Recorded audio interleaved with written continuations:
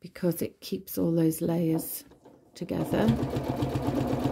It's never a bad thing. So here's a, you can see there's a seam there where I've joined the strips together and I press them open so they sit nice and flat and I don't have a problem with that. I know some people say doing it on the diagonal reduces the bulk but like I said I don't have a problem with it so um, I never sew on the diagonal. But that's just me. It's okay. If you want to do it different way. Okay so stop a quarter of an inch. Spin it round. Lift the needle. Pull it slightly forward. So here we are again. We're folding all the way back. So we've got a nice right angle here keep that in place. Bring it forward again. So there's our flap. And put it under the foot. Needle down to keep it secure. And off we go.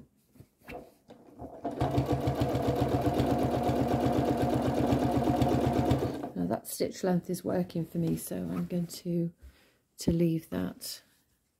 Now obviously I've got some threads on the quilt that will be sewn in when I'm doing the binding and the quilting so I've used the Westalee two inch circles as a going across the diagonals of the half square triangles. I, I'm, I don't know why, It's obviously somebody would know explain, but when I do a linear pattern, so something that's very angular, I like to quilt in curves. I just go the opposite way.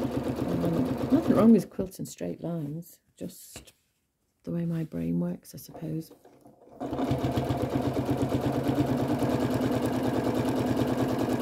So nice and steady. Don't go whizzing off because you want to make sure you've still got all those layers in place. Make sure it's still nicely lined up. Nothing more frustrating to start sewing on the back section and realise you've missed a whole chunk. Not a happy position to be in. Okay, so here's the last corner.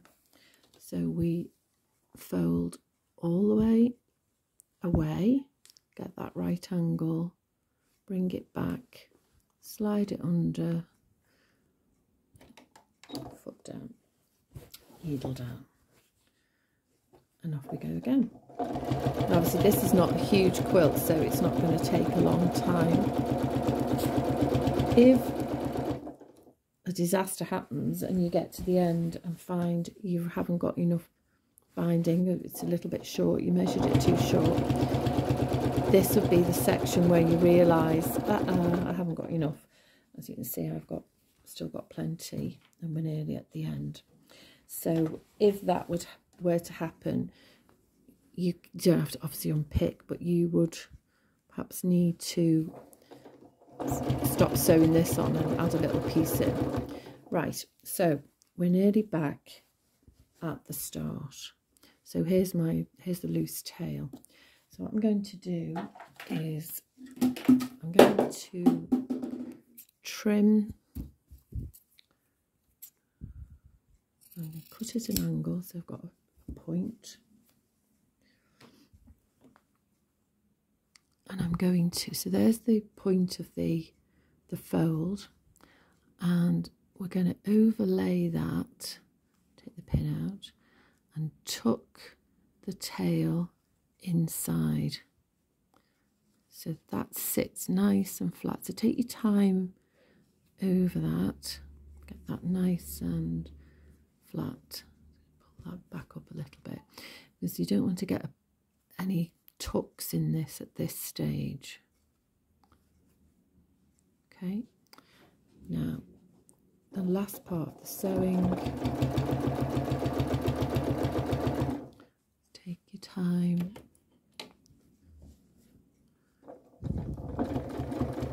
So you've got quite a lot of layers that you're going through here, which is why it's easier to have made that stitch length a bit longer when you get to where you started, I'm just going to do a little reverse stitch just to tighten that and cut thread. Okay, so that now we've sewn all the way around.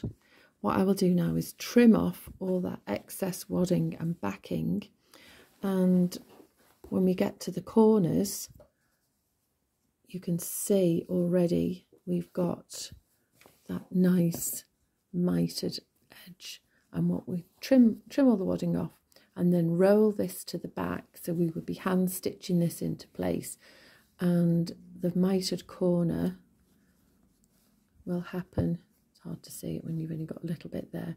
And it just finishes off in a much nicer edge and then you can trim off any threads there sew through any threads that you've got here left over from your quilting.